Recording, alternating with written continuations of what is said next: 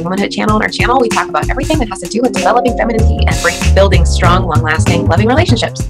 I am Cherry Lynn, and I'm so excited to be here with my mom, Dixie Andelin Forsyth. Hi. Hi. So, today we're talking about boundaries in your marriage. What does that mean? What's a boundary? A boundary is kind of a set, mostly internally, that people sense of guidelines or kind of rules where they feel comfortable living within that those set of rules. And we and ours, a lot of them overlap, but they're not always identical.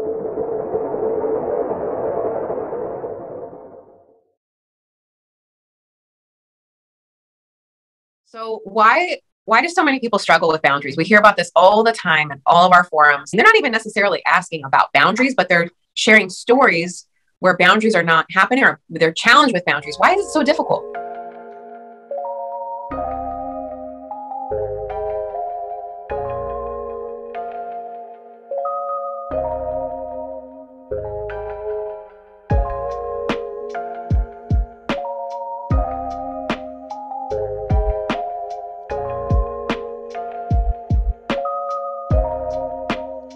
It, it's difficult to learn some of these things. And when you marry somebody, they're different than you. Even if they grew up in the same country, the same religion, they are different. And things that we just sort of assume that others are going to live by. And so it's important to work those out, uh, if possible, sooner rather than later, so that everything will be smooth, so that you'll understand each other's boundaries. I remember my mother told me, and I always remembered it, I thought it was really good. She said, when you're raising your family, have as few rules as possible but make sure that the rules that you have are really important because you want everyone in the family to feel comfortable. You don't want so many rules that nobody can hardly move or do anything. So she said, have as few rules as possible, but make sure every one of those rules is really important. A rule is like a boundary. I, that's such a good. I, I, I remember you telling me that many times throughout my childhood and as an adult. I think some of us can go be guilty of going a little bit too rule crazy. And it's easier to be rule crazy than it is to be specific about important rules. I think you brought it up when we were discussing this. Those of us who are Christians, we know about the 10 commandments. There's only 10. And I think every major religion has uh, has a version of that where you don't you shouldn't kill people you shouldn't steal you shouldn't commit adultery yeah. those are those are things that pretty well all religions abide by it's just that in, in christianity there's a, a list of 10 uh, those are 10 rules now there's a lot that goes under those rules but those are major things that to live by if you live by those you'll be doing pretty well right. I love the analogy of the 10 commandments. Even for people that don't maybe or that aren't christian or believe in other things that analogy still applies. Having 10 there's not 500 there might be 500 subcategories but there's 10 main ones. And i think that that's the message in this video today is we want to talk about five main boundaries that you should have in your marriage or hopefully you already have in your marriage and that you should try to develop in your marriage. Because that not having boundaries creates a lot of chaos a lot of uh, unhappiness. If i had to narrow down five of the most important fascinating womanhood principles i would say boundary is definitely in the top five. It's so important and it, and it can be difficult to develop these and set them. So we're going to talk about the five areas that we think are the most important that you should be thinking about or hopefully already have uh, set these boundaries in your marriage. The first one is finances what's under that one your budget things you agree to buy versus not buy for example for bob and i i don't maybe it's similar for some of you anything over a hundred dollars we talk to each other and we yeah. get started. We agree to. It's not like so much permission, but we're in this together, so we agree on something. If, if it's over a hundred dollars, I check with him and say, "Hey, I'm thinking of getting this. Is that okay?" Right. Another thing under finances, it's who's spending what on what. You just mentioned that investments. Yes. Who is allowed to invest what? What are we allowed to? What are we wanting to invest in that this includes goals with finances being on the same page with goals budgeting i think you mentioned loaning money. There should be boundaries around all of these taking risks with money. That's what's all kind of under the umbrella of finances. And when you set these boundaries ideally you set them when you're not in the middle of it. When things are going fine you sit down with your husband and say you know i'd love to you know kind of work out some of our boundaries when when money is not an issue that day. And so it's not a hot button for those of you that are hearing this and you're saying, well, what about if we don't agree? We're going to get to that in a minute. We're going to get to that in just a minute. But we want to go through the first five before we get into all that. Okay. The second one is friendship boundaries. What What's under that? The first thing that comes to my mind is friendships with the opposite sex. Friends, say you may have a friend that doesn't like your husband or vice versa. How much time you spend with friends. For example, Bob and I had, we started this out when we were very first married. We do not, we agreed we do not have friends with people of the opposite sex that are not our friends together. It's going to look different for everybody, I think, because you might have just a little bit of a different scenario, but th- that's yours. Some of these boundaries are things that may not be said. Some of these things are things that you may just be. And, that, that, that's great too. And sometimes they do need to be said. Um, I think that's important to explain when we're talking about these boundaries because I, I can't think of a time when we talked about that boundary. It's just kind of something that is. it just kind well, of sometimes you sometimes you just understand it. You just both are similar, so you just don't do yeah. it. You don't always have to set every boundary.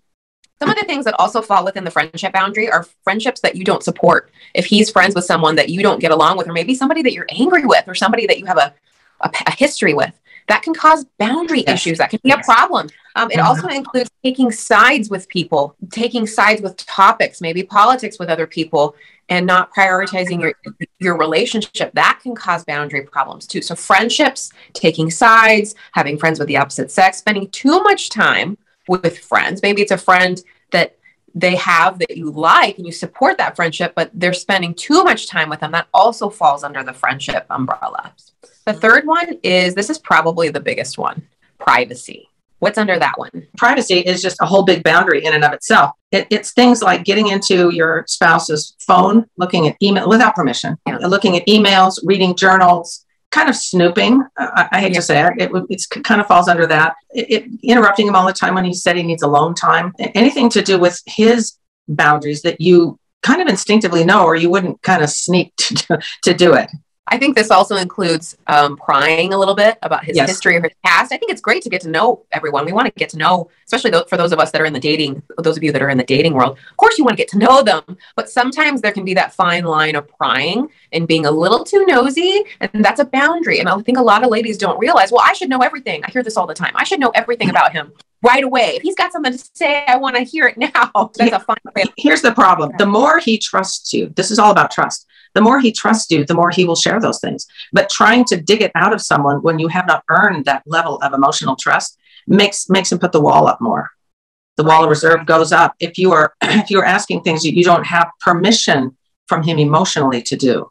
We recently, I just have to share this. We recently, uh, this past summer, did a video, a short slash reel of you and dad uh, acting out a first date and something you should never say, and I'll play it for you. I'll play it right here. This looks like a really nice place. I thought this was a great restaurant for a first date. So, have you ever been diagnosed with any mental illnesses?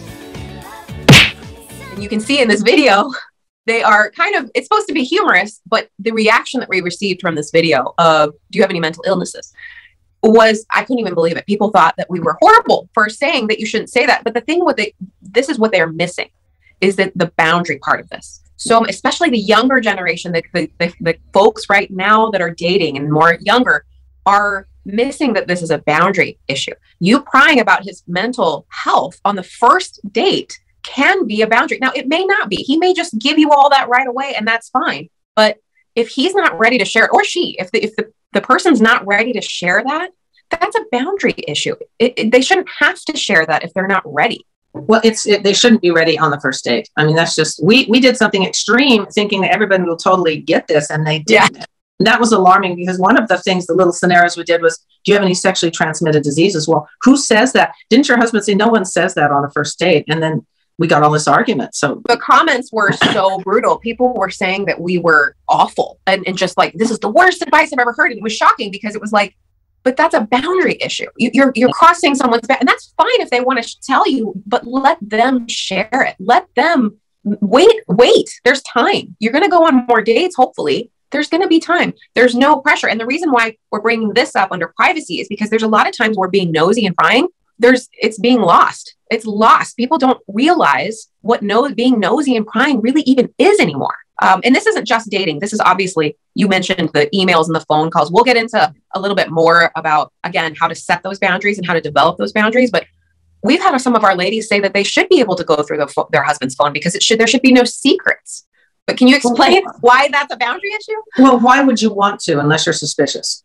Uh, you know, if I look at Bob doesn't care if I look at his phone, but but what's in there is a bunch of junk emails that he goes through. I, uh, there's no way it even enters my mind to go through his phone when we have such a, a close relationship. It doesn't even occur to me. I've even heard ladies say that their therapists have told them that they should have full access to each other's phones and emails. Therapists have told some of our ladies, you should just go ahead and have access so that there's no trust. But the problem with that is what? It doesn't work. It's a lack of trust. And by the way, therapists are, don't always stay married.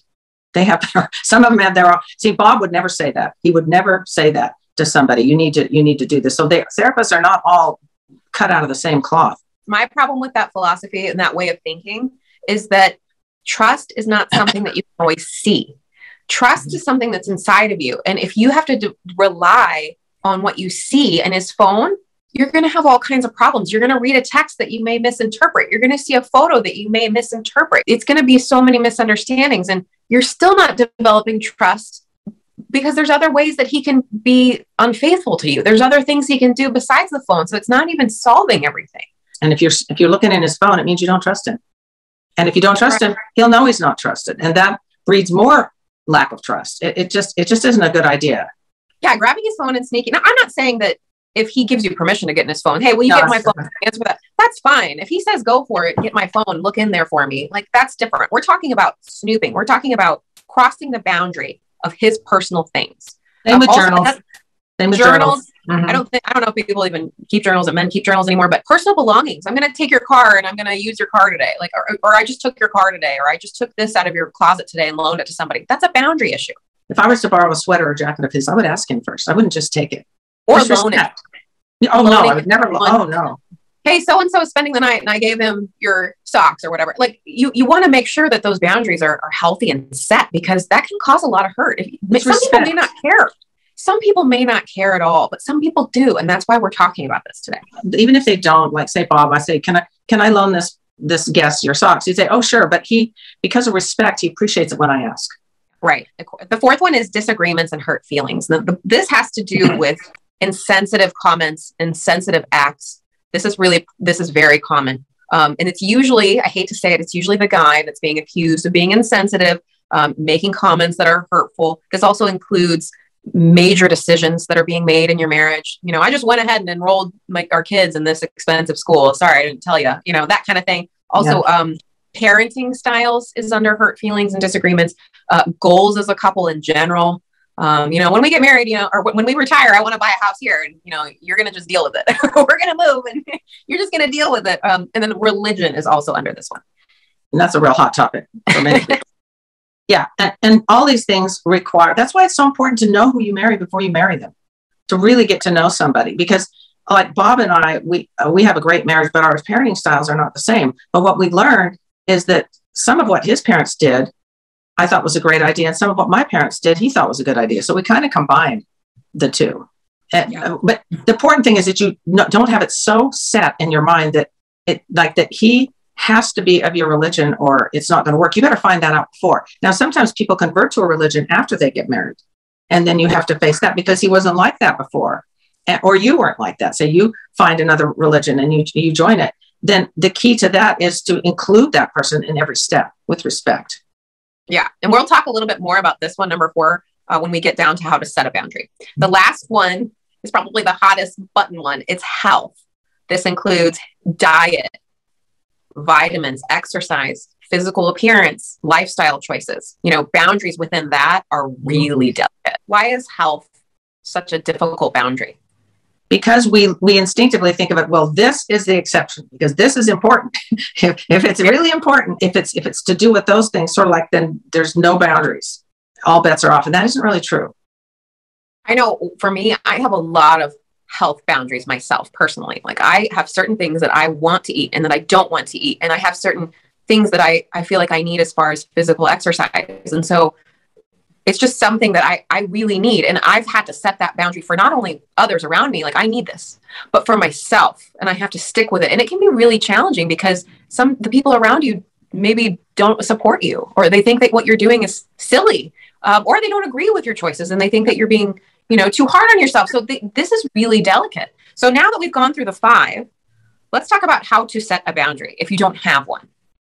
So the first step is to decide them, of course. And what are my boundaries? And you might have to take a lot of time to figure this out if you if you're a person that just doesn't really have a lot of these. And or if it's hard for you, maybe you grew up in a home where there weren't a lot of rules, there weren't a lot of boundaries. People were, you know, getting in each other's space all the time, this could be difficult. But the first thing is to decide them and, and commit to them. How do you have the discussion if the boundary includes the other person and your, your husband, if it includes him kind of like being a part of it? How do you set it?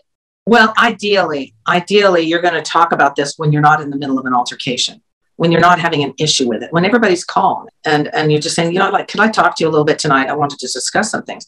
So make sure that the boundaries that you need to set are, like we said in the beginning, important, not stuff like don't throw your socks around. I mean, you can right. set a boundary like that, but are you going to die on that hill? Because right. you, you're going to damage your relationship. If you, you can set any boundary you want, but if you have too many or too frivolous ones, you're going to, you may destroy your relationship. So sit down and say, can I talk to you and have this planned out? This, this really bothers me. And when you talk to him, talk about, don't accuse him say i feel this way and don't say i feel like you are doing this. It's that's just another way of, of blaming him just say i would i would really feel so good if we had this in our relationship if, if we discussed important purchases with each other before. That that would mean a lot to me. In fact it's so important to me that i really can't put up with this other way of doing it any longer.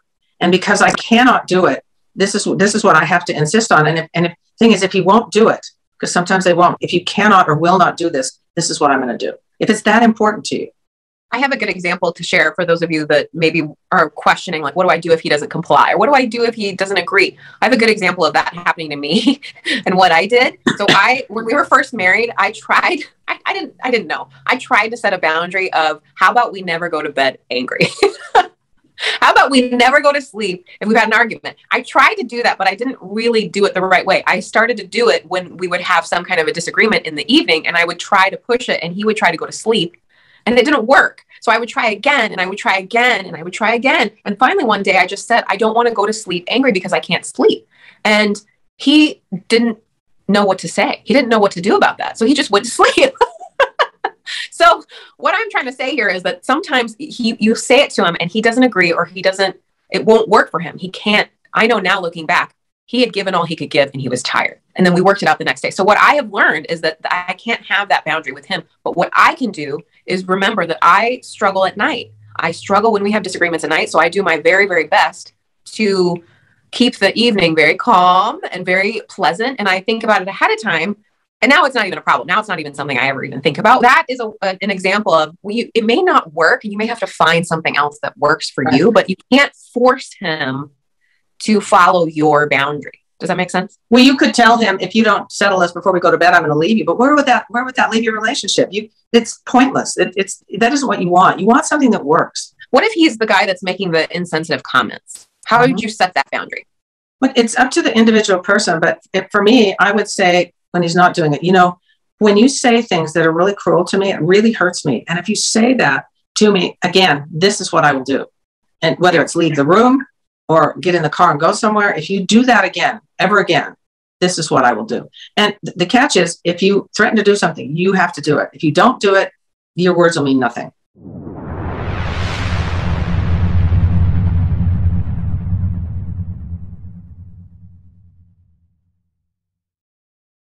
But make sure what you, your threat is reasonable.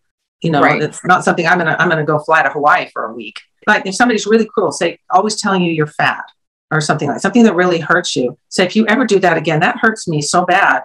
I will do this. I'm not going to put up with it, and I'll just leave the room, or I won't be making dinner that night, or whatever it is you decide. Right. Um, because you do not have to put up with cruel treatment. What about the guy that is just continuing to break your boundaries and you're setting them, and you're leaving the room and he's just continuing to do them? What would what would you do then? I think it depends on the situation. Why is he doing this? Is there something about her? Is he angry with her about something?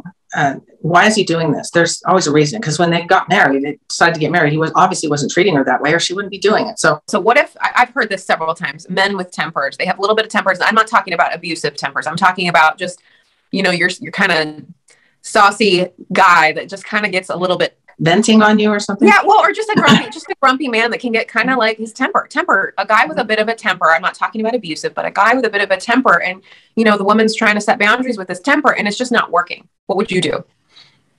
I don't think she's being, I, from the very little I, have got in the scenario, I don't think she's being firm enough. I don't think he really believes her because Bob said to me once, people like that, he has patients sometimes that have issues like that. And he'll say to the wife, does, does Jim or whatever his name is, does he do this at work? No, no, he has friends. He those people know how to control their temper when they need to. They don't do it when a policeman's standing by and going to hear him rant and rave about something. They can control it. They just don't choose to because they're taking you for granted. So it's not that they cannot. It's just that they if they will not. It may take time for you setting a boundary and doing what you say. So I'm, you know, I'm not putting up with this. I will not. And this is a serious issue for me. You deal with this in some other way, but do not vent on me. You have a right to have respect for yourself and to be treated with respect. I agree with you. I think this is a really difficult one of putting the mirror in front of your face and saying, well, what are you? I know that what he's doing is, is not what you agree with, not ideal, but what are you going to, what are you willing to put up with? A lot of our ladies that struggle with boundaries, unfortunately, are, are usually the ones that are more sensitive and they just don't want to cause problems. They don't want to hurt anybody. And I totally get it. I think that's why boundaries are tough, oftentimes more tough for women. We're sensitive. We don't want to hurt anybody. It's not every woman. Some of us are real tough, but you know, well, we don't like confrontation. We don't yeah. like confrontation and unpleasant feelings. And I mean, I'm that way. So we often will let something slide a while rather than have a confrontation. And actually, there's a, there's something to be said for nipping it in the bud with some things. Yeah. The sooner you do it and more upfront, like, no, I, am not putting up with it. Putting a putting a boundary in place is a delicate balance of soft and hard, and that is so challenging for some people because you don't want to come in too hard and you don't want to go too too strong, but you also want to remain calm and you want to have it under control. So this can be tough. So don't be hard on yourselves if you struggle with this. And it's going to take practice, like you said so many times. It's going to take time to develop mm-hmm. these boundaries. Maybe you only struggle with one area, and that one area is just taking a lot of time don't don't give up because this is so important for your marriage. Because you want that deeply romantic marriage and that's what we're going for. That's why we're doing what we're doing and so you can have that wonderful romantic lifelong relationship Yes. For all of you that have not read Dixie's book, Fascinating Womanhood for the Timeless Woman, you definitely need to check out our links below. If you read her book, there's so much more about building a lifelong loving marriage and that in each chapter in that book will help you and boundaries is just one topic of many. Thank you so much for being here with us today. And if you haven't subscribed to our channel, please do that now. Hit that button because it helps our channel grow. We really appreciate your support so that we can be here every week and deliver this content for you. And also hit a like on the video if you liked it so that we know that you're watching us. And we're here every week, so don't forget to check back with us next time. We have an Instagram page, we have a Facebook group. We hope you will all hop on there and join us in those forums as well. And submit your comments below, or maybe you have some tips for the ladies out there of your own for boundaries. Definitely drop those down below too. We'd love to hear from you. And we'll see you next time. Bye.